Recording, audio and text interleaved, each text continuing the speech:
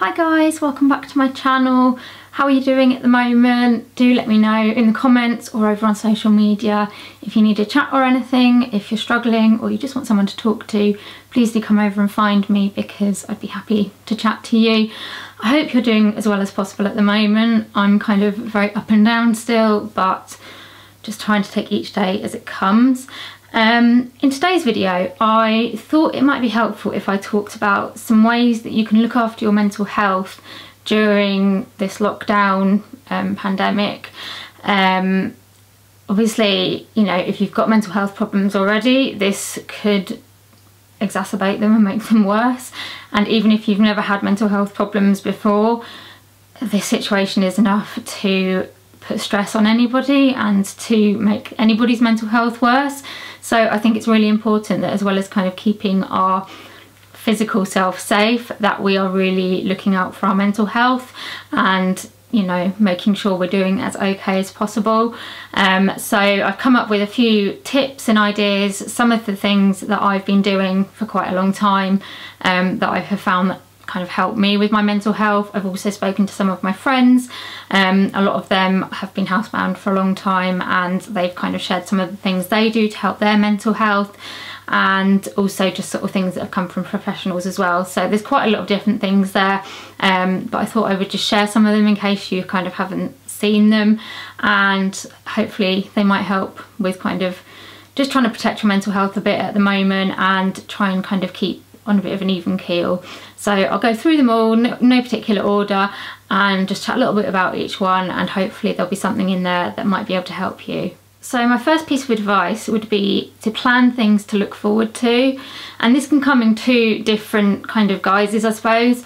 Um, one, you can plan things to look forward to in the here and now.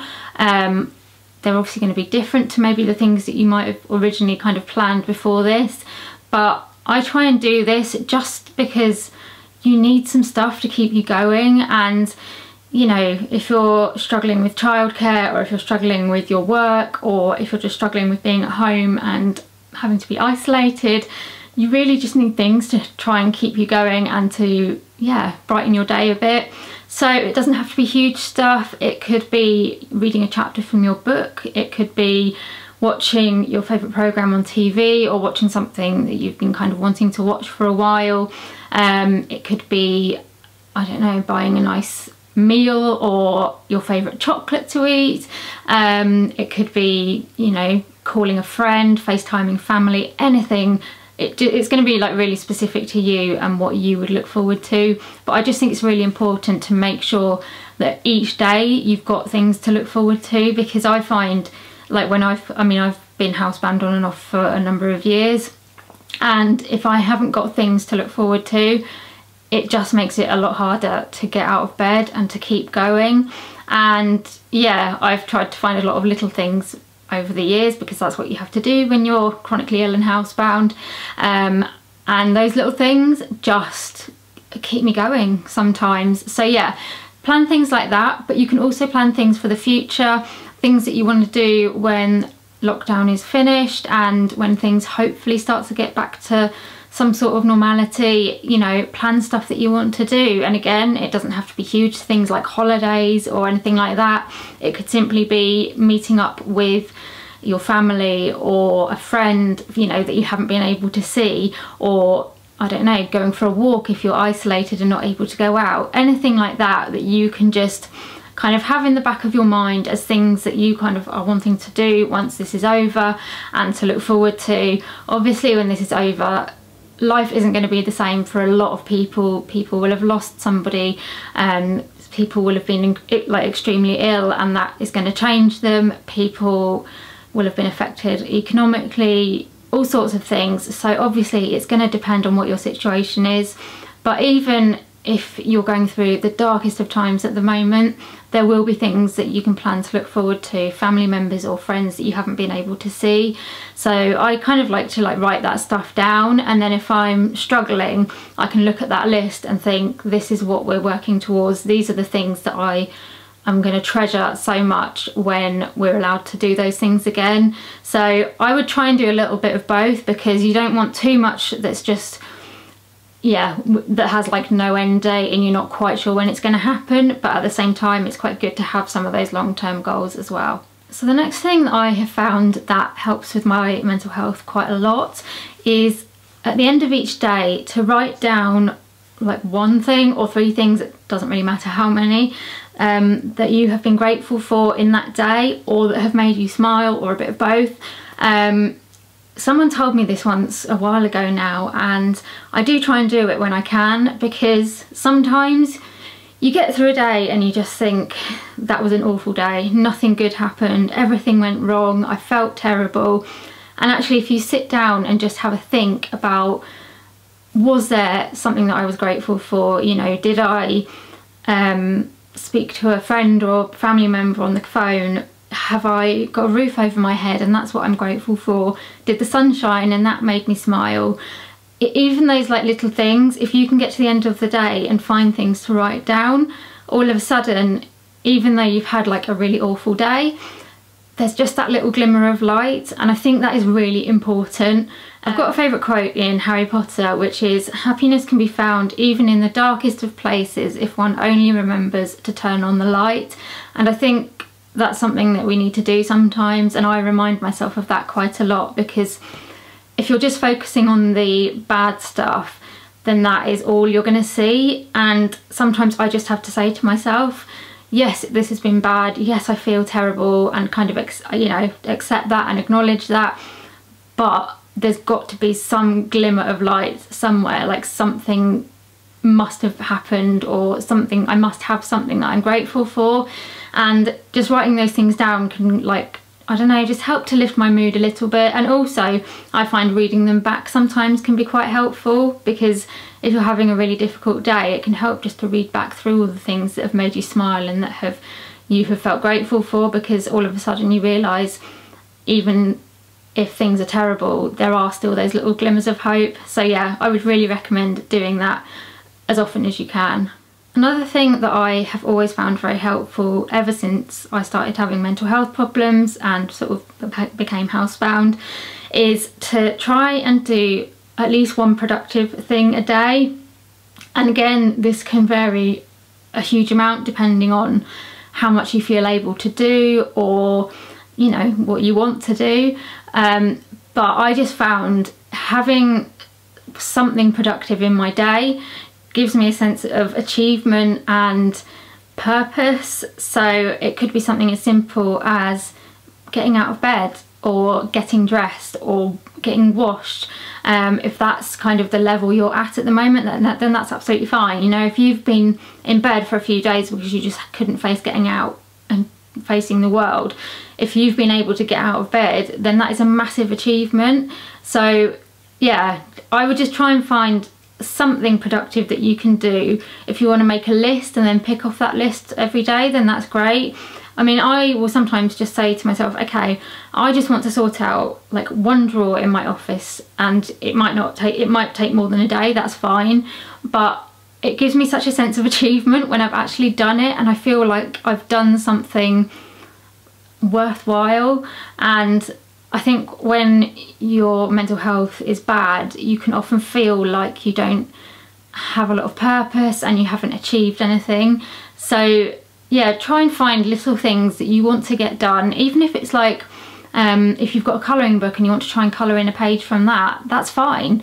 It doesn't have to be like, you know, anything groundbreaking or huge. Whatever it is that you want to get done, put that on your list and once you've done it, take a photo or something because I tend to like, I'm looking back through my phone at my photos and I'll find like a picture of a drawer that's all like nice and tidy and I'll think, oh yeah, like I did that and yeah, I was quite proud of myself for doing that despite feeling rubbish. So yeah, I've always found it very helpful to try and find little productive things that I can do each day just to give me a sense of purpose and a sense of achievement. Another tip for helping your mental health is to try and get a change of scene whenever you can. Obviously this isn't the easiest thing to do at the moment with us, you know, having to stay at home a lot, but even if it's, you know, a case of moving from your bed or your sofa to perhaps sitting by a window for a little bit or going and sitting in your garden or on a balcony if you've got those. Um, I just think it can really help. I know sometimes like I will have been in the house all day and will be feeling pretty down and pretty rubbish to be honest. And sometimes I'll just go and sit in the garden obviously when it's nice and sunny and not when it's pouring with rain. Um, but I'll go and sit in the garden for a few minutes and it will just give me a little bit of a lift. Um, or sometimes I will just go and watch out the window. If I can't go out in the garden I'll watch out the window and watch the rain coming down and the squirrels playing on the grass and I don't know I think it's just getting a change of perspective from where you are at the moment can really be helpful I mean obviously if you're able to go out for walks at the moment or to go out for exercise that's great um, but not everybody can do that so it's kind of finding different ways you can do those things. So even if that is just what, looking out the window for a few minutes, give it a try because certainly for me, I find it really helpful. So following on from that tip, I would also really recommend putting bird feeders outside if you can. I know obviously not everyone is able to do this if you don't have a garden or an outside space, but if you do, I would really recommend putting a bird feeder out. And actually I think you can get some that you literally put on the outside of a window.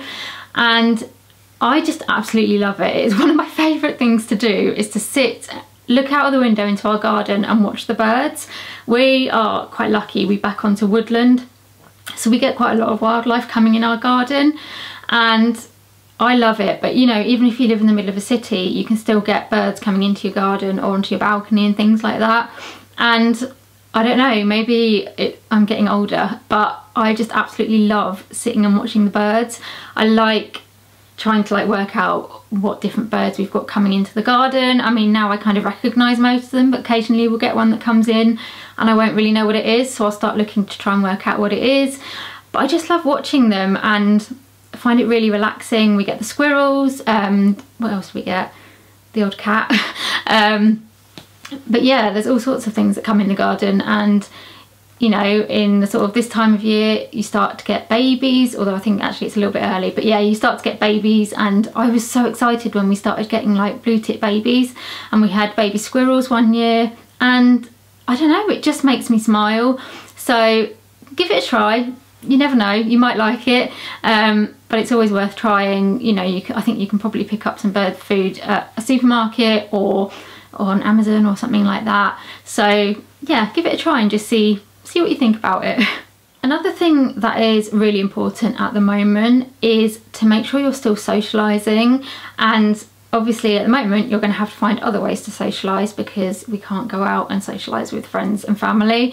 Um, but I think it's really important to try and keep some social contact going just yeah for your mental health because I know if I've gone a long time without any kind of social contact that massively impacts on my mental health um, so yeah, look into things like FaceTime and Zoom and other video calling things because certainly for me they have been lifesavers. So I run a mental health group. Um, we usually meet once a month in person which we can't do at the moment but now we're having weekly um, Zoom meetings. And yeah it's just been brilliant to be able to just sit and chat to people for a while about anything that comes up, not necessarily mental health, but just how we're feeling and what we've been getting up to. Um, yeah, it's been amazing. And I've also been like FaceTiming quite a few of my friends and obviously family. I've been FaceTiming my um, niece and nephew and my siblings. And it just is honestly like the highlight of my day. Um, I would, yeah, my mental health would be so much worse without those kind of social contacts. So yeah, I would really, really recommend if you haven't been doing it already, try and find different ways to socialise with friends and family that you're not currently seeing in person. The next thing is something that probably goes without saying, but it is really important for mental health, and that is to get enough sleep. I don't know about you, but at the moment, I am not sleeping that well. I mean, I don't sleep brilliantly anyway, but I just have found ever since this all started, I've been a lot more restless, I've been having really weird dreams, um, and I've just felt exhausted all the time. So I need to work harder on my sleep routine, definitely. I'm going to bed too late, waking up too late, and it's just not making me feel very good. So I would just really recommend working out a good sleep routine, making sure you're getting enough sleep. And if you're not getting enough sleep, try and make sure you're kind of getting at least some rest. Um, don't kind of beat yourself up too much or give yourself too much of a hard time if you're not sleeping as well as you usually do. I think that's probably to be expected at the moment. But yeah, do make sure you're kind of prioritizing at least trying to get some sleep and some rest because I know for me, if I'm tired, my mental health just goes straight down. So yeah, it's definitely like one of my top priorities is to just try and make sure that I'm well rested. My next tip is something that I am not very good at doing, I'll be honest, um, and that is to try and get some exercise each day. Um, this is going to vary a lot depending on your level of health, depending on um, whether you're able to leave the house. I have not been very good at this at all. I mean, I'm chronically ill and disabled and I find exercise very difficult, especially since I had surgery last year. Um, I'm now even more immobile, but I do have physio exercises that I should be doing and I have been pretty lax at them to be quite honest. Um, hopefully my physio isn't watching this. Um, and yeah, I just, I know that if I set aside a bit of time to actually just do a few of my exercises and my exercises are little like stretches and little movements of my leg that's it it's nothing like groundbreaking um, although for me they are really difficult but I know if I just tried to set aside a little bit of time for some movement that that would probably make me feel a bit better. Um, obviously if you're able to do a bit more you know you could do some yoga some pilates um, there's the Joe Wicks workouts on YouTube. There's so much online at the moment for like exercise and stuff. Um, if you're able to leave the house and just go for a walk that's brilliant. I think it's just about trying to get a little bit of movement in even if it's just some little gentle stretches if that's all you're able to do. It's just moving your body a little bit, a little bit of time doing something different and it's definitely something that I think I need to try and work on because I do think like in the long run it will help my mental health. Something that I have always found really important ever since I first started getting ill when I was a teenager is to try and keep to some sort of routine. Obviously your routine may not be the same at the moment as it was before the lockdown. Um, you know, most people were probably going out to work and going out socialising and looking after the kids and taking them to school and all that kind of stuff. And everything is very, very different now. So you may have to come up with a bit of a new routine, but I would just recommend making sure that you're kind of following some sort of routine. So, you know, trying to get up at a similar time each day, going to bed at the same time, eating regular meals. Um, and then other things as well that, you know, putting things in there so that you've just got some sort of routine to follow. Obviously, you know, if you haven't got that many commitments at the moment, it doesn't need to be like really, really regimented but I just find I need some sort of routine in my life because as soon as routine gets out, goes out the window, my mental health takes a big hit. So it's taken me a little while. I mean, my life isn't hugely different because I spend a lot of time at home anyway. It hasn't changed significantly apart from the fact that I haven't got a lot of like medical appointments at the moment and I'm not able to kind of go out for leisure like once in a while. Um, so my routine hasn't changed like a huge amount but it has changed a bit and it's taken me a little while to kind of find a new normal and to kind of get into it but I do find that having a routine just gives me a sort of purpose for the day it, like I get up knowing what sort of routine I'm going to follow. And yeah it almost I think it just gives me a little bit of motivation to kind of of something to follow during the day.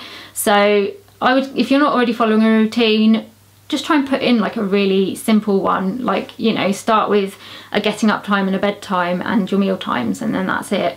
Um, but I would yeah recommend trying to put something in because certainly for me it really helps another thing that I think is really important for mental health is to get some sunlight every day um, not always easy in England we have been quite lucky with the weather recently but today it's pouring with rain um, and with so many people being in their homes a lot um, something that I do think will possibly happen is that people may end up with vitamin D deficiencies. I know I certainly did when I became housebound. Um, so it's quite important, I think, to try and get some sort of sunlight because one, it will help you vitamin D and two, it does help boost your mood. I know when I've been going out in the garden, um, it just yeah, lifts my mood, feeling the sunshine on my face and seeing, yeah, the nice sunshine. Um, it just does help. And obviously on a day like today, that's not so easy but the sun's still there it's just behind the clouds. So even if you know you just poke your head out the window for a few minutes or sit by a window if you're not able to do that I think that will just kind of help lift your mood a bit. Otherwise I find you're kind of stuck in the house and it's a bit dark and um, yeah sometimes you just need to get outside and get some light. Um, but obviously that's not possible for everyone at the moment. So just making sure you like open the curtains open the blinds and just get a little bit of sunlight in. And also if you don't already, it might be worth looking into taking a vitamin D supplement.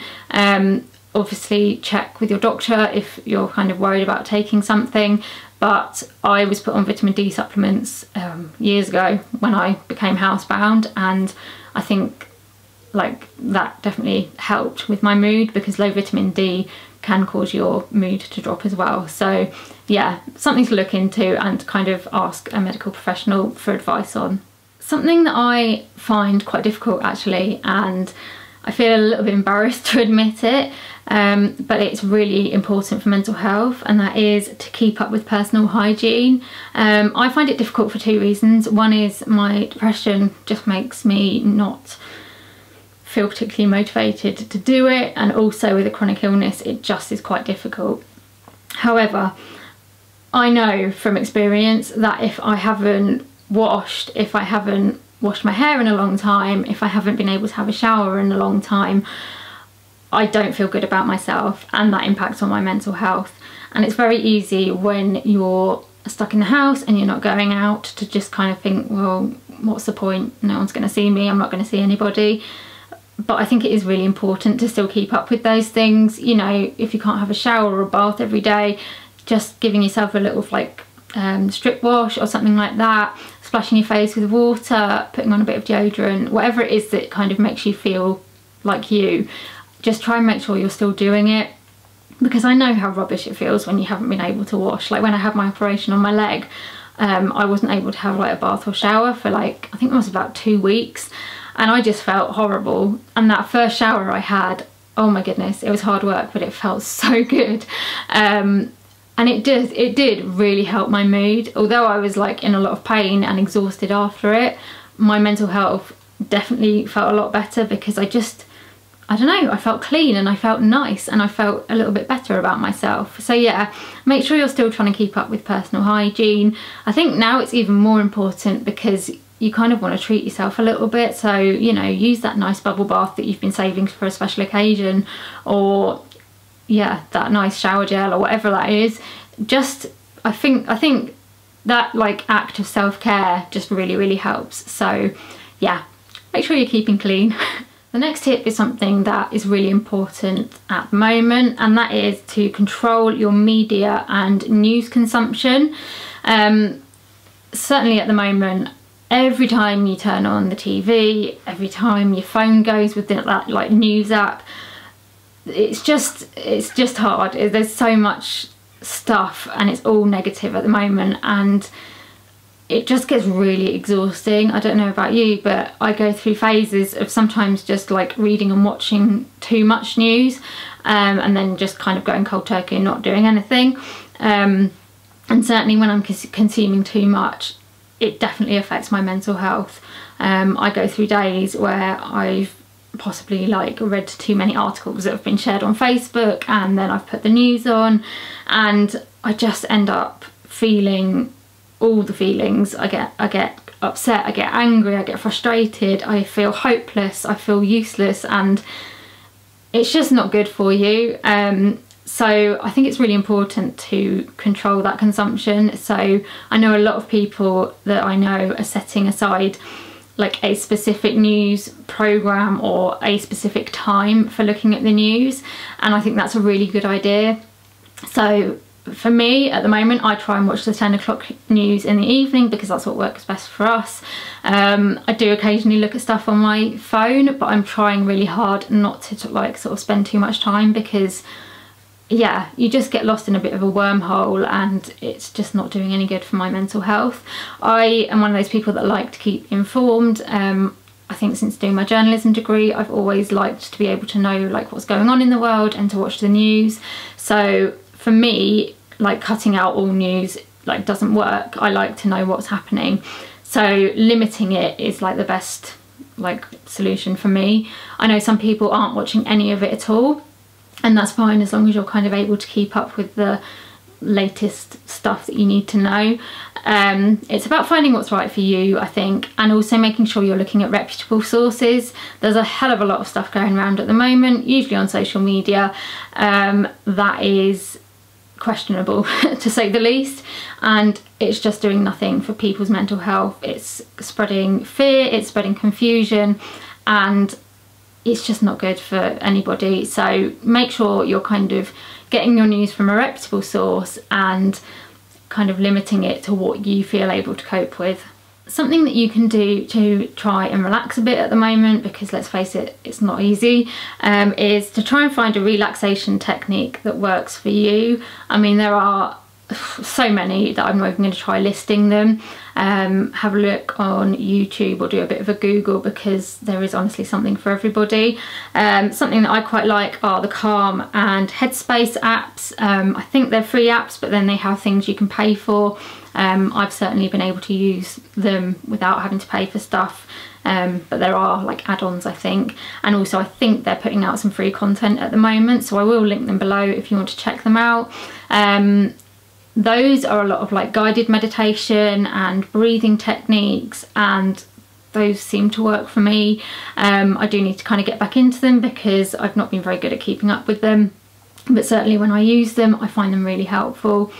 But it literally could be anything that you find relaxing. So if that's listening to a piece of music or watching something on the TV that just helps you to zone out or doing some yoga or singing or doing art, you know, whatever it is that helps you to relax. I think it's just trying to find something that works for you and something that you can do that kind of gets you away from everything else that's happening in the world at the moment. And I know for me that has been really important because sometimes you just need to like decompress and certainly at the moment with everything that's going on I've needed to be doing that a hell of a lot more so yeah, now's a good time to try different work, like try different things out, see what works for you, and then allow yourself that time of just, yeah, decompressing and relaxing a bit. And then adding on to that, something that I have personally found quite helpful for relaxing and that I've only discovered like fairly recently is to listen to Disney piano music on YouTube. I mean, there's a lot out there. You literally type in Disney piano music and you get all sorts of playlists. And yeah, I've absolutely loved it. I've had it on in the background a lot and I'm a big Disney fan anyway and so having some like nice relaxing piano music that I can sing along to has just been a great tonic for me. And then I want to finish this video with a couple of kind of information slash very like more serious points. And the first one is that if you are already under mental health services make sure you know what your kind of plan is at the moment. So make sure you've got a crisis plan that you know who you're meant to contact if you're having a crisis or if you need help. Make sure you speak to your team and make and understand kind of what the plan is because things are changing appointments in person aren't happening, groups aren't happening, day treatment isn't happening. So it's really important that you know what to do if you're struggling. And I know, you know, a lot of NHS people are saying make sure you're still reaching out for help for other things if you need help with them because the last thing they want is for people to be getting more ill or struggling with other conditions. So yeah, talk to your team, give them a ring, send them an email, however you contact them, and make sure you know exactly what that plan is. Write it down so that if you get into a crisis, then you know exactly what you have to do. And also make sure you tell them if you're struggling, you know, even if you don't feel like you're in crisis but you need a bit of help, make sure you communicate that to them because most of them have kind of put conting contingency plans in place to make sure that there is still support there. So yeah, please don't suffer in silence. And then the last thing that I would say is please do not be afraid to use helplines. Um, there are people like the Samaritans, Mind, the Crisis Line if you're under mental health services. They're there to help you. Yes, they're getting a lot of calls and emails at the moment, but they are trying to help everybody and I don't I don't think they would want people to be suffering in silence. So if you're struggling, don't put off contacting somebody because the help is there. Yes, it is a bit stretched at the moment, but it's still there. You deserve it. You if you need it, use it because that's what it's there for and hopefully they will be able to help you even if it's just somebody to talk to or if they can kind of coordinate something to help put in something a bit more long term for you. I've used the Samaritans and Mind and the Crisis Line before actually and um, and Beat as well for eating disorders and they've all been really really helpful for me. So at the moment I would say now more than ever reach out to those places. Even if you've never had to reach out for mental health support before you know don't be embarrassed or ashamed if you feel like you need it. Just yeah just reach out because no yeah no one wants anyone suffering in silence. And at the moment it's just understandable that people's mental health will suffer. So please I can't say it enough please please reach out for help. If you don't contact one of those contact your GP um, yeah don't be alone in it so those are all the sort of tips and advice that I have got for you today about how to look after your mental health at the moment. I really hope you have found it helpful and that maybe there's something there that you have been able to pick up and use. If you have enjoyed the video and you'd like to say, see more, please give me a like and subscribe to my channel. Also hit the notification bell, that means you'll get notified every time I upload a video so you don't miss anything leave me a comment. Let me know how you're getting on at the moment. How is your mental health? How are you managing your mental health? Is there something else that's kind of helping you that I haven't mentioned? Please do share it because I think that would be helpful for everybody. Also let me know if there's any other videos you'd like to see me do whether that is something around the current situation that we're in, whether it's mental health, physical health, or something completely different. Let me know what you'd like to see. Also give me a follow on social media. Um, I'm mainly on Instagram, Twitter sometimes as well. My links are in the description bar, but I'll pop them here as well. And it would be really great to see you over there. And I will see you again in another video very soon. Take care and stay safe. Bye.